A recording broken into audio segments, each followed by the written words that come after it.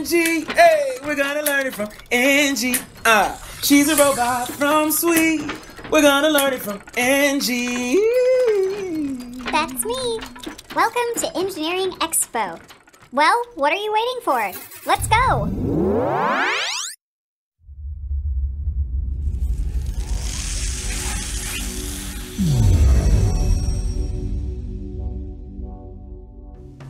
Hi, I'm Kendra.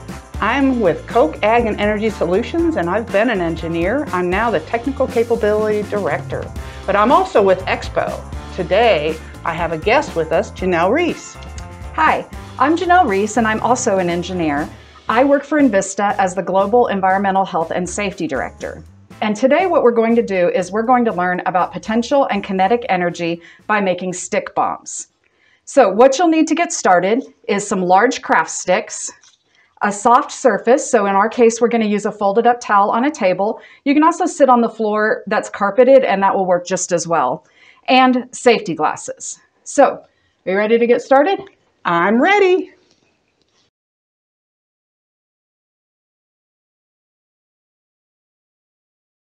So Janelle, what is potential and kinetic energy?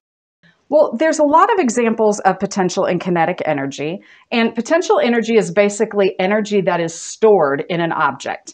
Kinetic energy is energy in motion. So for an example, right now I'm holding this stick and based on gravity and the fact that I'm holding it above a surface, there is potential energy from here down to the surface that's in this stick.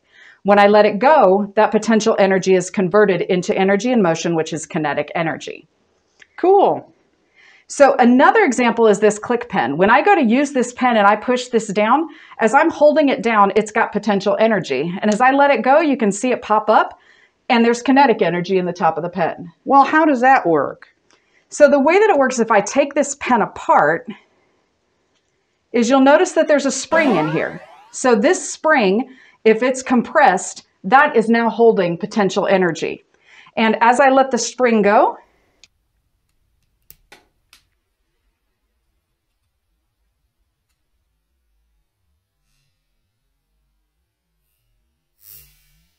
the potential energy is released and it becomes kinetic energy as the spring moves through the air. Well, how does that relate to our experiment today, Janelle?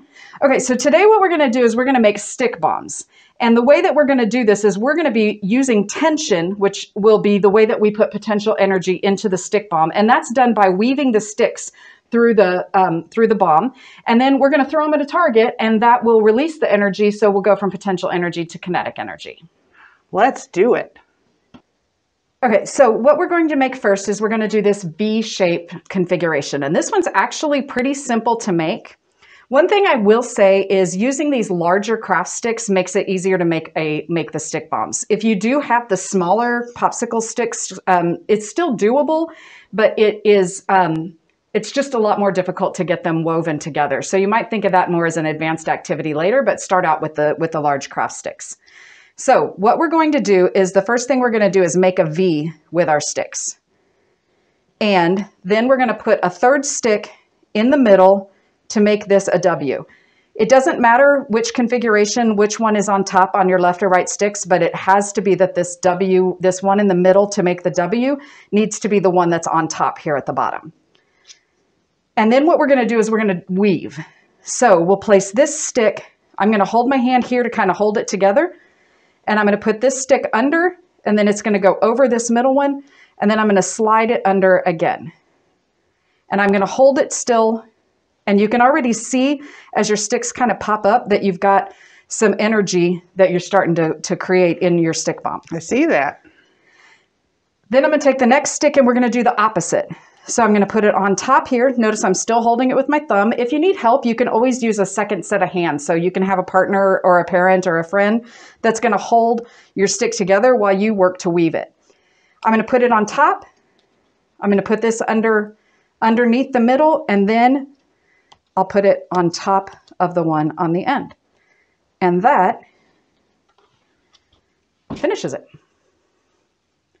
Can we make the other one now? Sure. Okay, so this next one's a little bit more complicated and it makes a star. So cool to look at um, and a star configuration. So again, you need five sticks. And what we're going to do is we're going to kind of make a backward seven. So I put the top one on top of my backward seven. And then I'm going to put a third stick, even with the bottom here, and it's just going to set right up on top. So this is the easy part. Now we're going to get into the more complicated part. So Kendra, I'm going to have you hold right here, and I'm going to hold here. And we're going to put this one under. It's going to go over this middle one and under right here. And actually, and you can kind of wiggle it around to make sure that it, it fits. And actually, once we let go here, we do have stored energy. We just need to get our, our cross. So I'm going to um, rotate it so that now it kind of looks like a star with just not this last um, item put on here. So Kendra, I'm going to have you hold these two. And I'm going to hold up here kind of as we weave. We're going to go under on this side and over on the other side.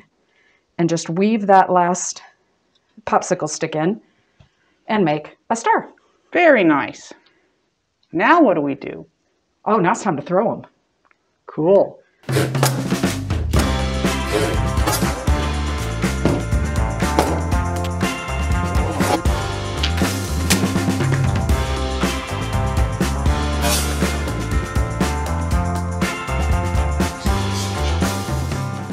All right, so we just had fun. We just threw our stick bombs. And just to tie this all back together, the, the, there were two actually examples of potential and kinetic energy in the last activity that we just did. So one is, as we took the stick bomb and we got ready to throw it, right here we had potential energy. And as it flew through the air towards the target, we had kinetic energy. So that was example one. And then the second is once it hit the target, there was the potential energy that we made by weaving these sticks through um, and creating tension in the bomb. As it hit the target and had that fun explosion, that was our second example of our potential energy from the, the tension in the sticks moving into kinetic energy as those all flew apart. Yeah. So what are some other examples of potential and kinetic energy? Well, that's a really good question. Um, how about you guys decide what the potential and kinetic energy is in some examples? So let's first look at a roller coaster. And now let's look at throwing a baseball.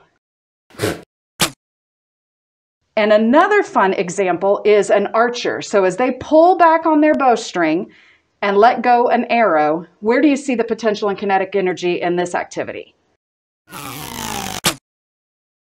Think of these examples and write those down in your engineering notebook.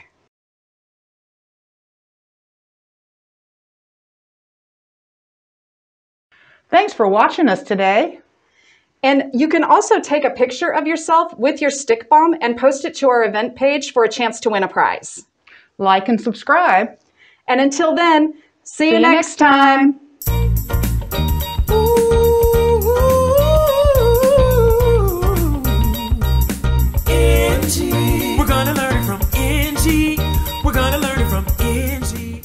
Until then, see you next time. We need to do that again. Yeah, let's do that again. We're gonna learn it from Engie. Two, three. And dance. So, oh, sorry. We're gonna learn it from Engie. She's a robot from SWE. We're gonna learn it from Engie. We're gonna learn Oh my goodness.